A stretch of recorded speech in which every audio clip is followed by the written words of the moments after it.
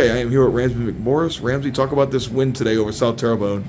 Um, our defense just did really good today, and we started off really good and jumped on them really fast. Uh, tell me about how well y'all's defense played overall. Just getting deflections early on, it turned into steals and Yeah, we easy really buckets. we all read the ball really good. Um, Laney was fine on the baseline. Stella was getting a lot of hands to the ball at the top, and everybody was just rotating where they're supposed to be.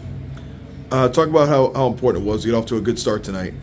Um, it's important. We really wanted to jump on fast, uh, just to kind of scare them a little bit, I guess.